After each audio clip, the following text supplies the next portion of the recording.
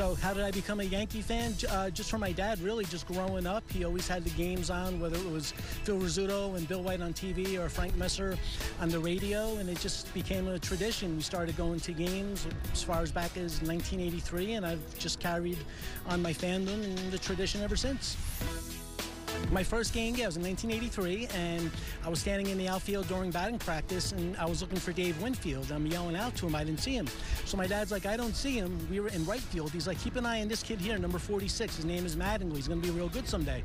And then just from that day on, I was yelling his name. Then he turned around and made eye contact with me, and then just from then I was hooked. And to this day, he's still my favorite. I follow his whole career. I just met him at American Dream Mall about two and a half months ago.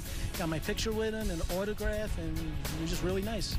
My mom's favorite player was Mickey Rivers, and she still loves him to this day. In fact, one of my friends goes to the Yankee fantasy camp, and he actually had Mickey Rivers sign a picture to my mom this past January, and I gave it to her in March when I saw her, and she loved it. And then uh, just with my dad, just really, he used to love talking about Casey Stengel and about how just the way he would manage and how he would uh, let a starting pitcher know that he was pitching that day. He would just put a ball in his shoe, and that would be like the pitcher knowing when he got to his locker, oh, I'm pitching today. So that always stuck with me.